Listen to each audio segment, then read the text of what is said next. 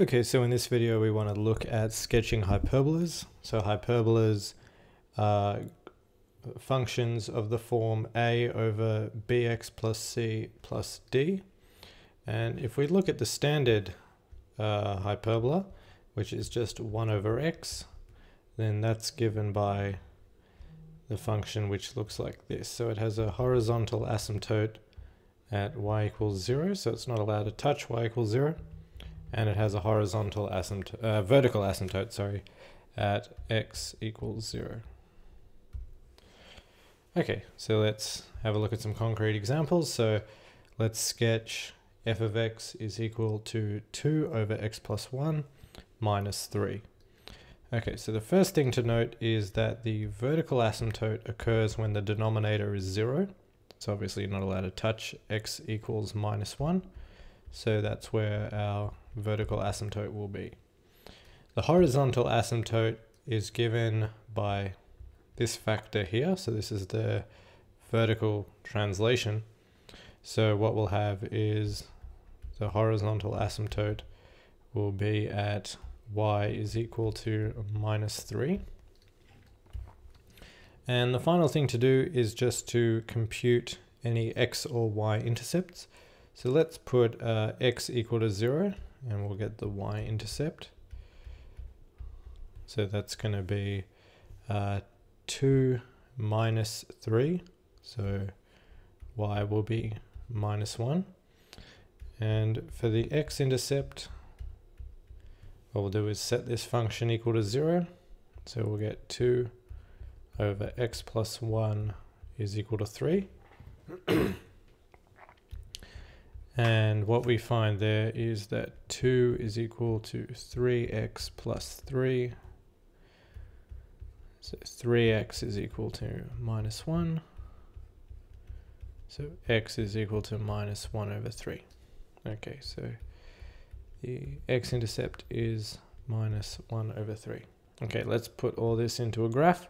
So we have the vertical asymptote is at x equals minus 1.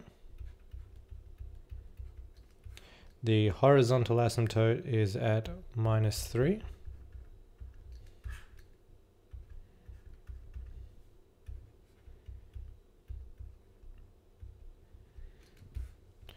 We have the y-intercept at minus 1, the x-intercept at minus 1 third, and that's all we need to sketch the graph.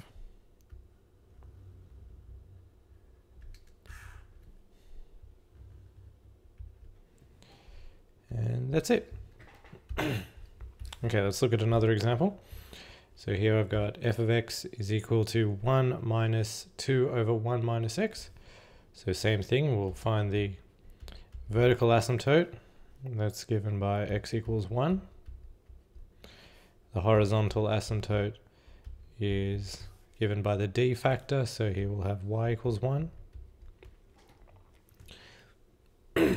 we'll find the y-intercept by setting x equal to 0, in which case we'll get 1 minus 2, so we'll have minus 1, and the x-intercept is given by setting this function equal to 0, so we'll have 1 is equal to 2 over 1 minus x, so 1 minus x is equal to 2, minus x is equal to 1, so x is equal to minus 1. Okay, so putting this into our graph, we have our horizontal asymptote at x equals 1. we have our horizontal asymptote at y equals 1.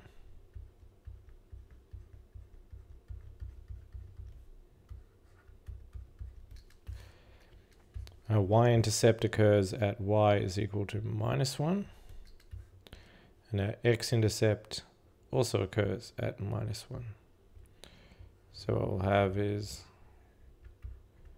something like this.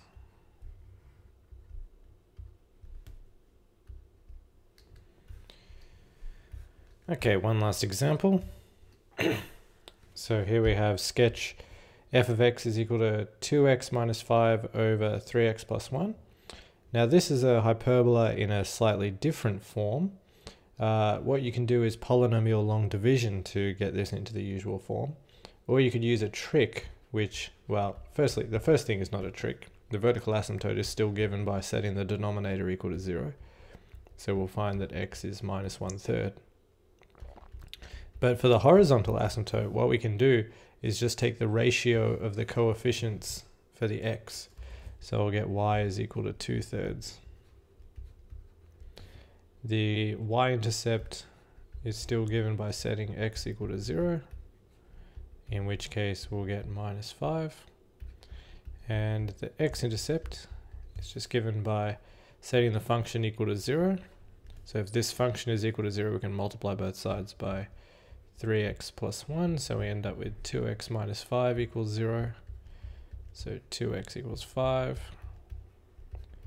And x is 5 over 2. Okay, so if we put that into a graph, we have horizontal asymptote at minus one third. Got a, sorry, that was a vertical asymptote. A horizontal asymptote at y equals two thirds. We have minus five for our y-intercept and five halves for our x-intercept. So our hyperbola should look something like this.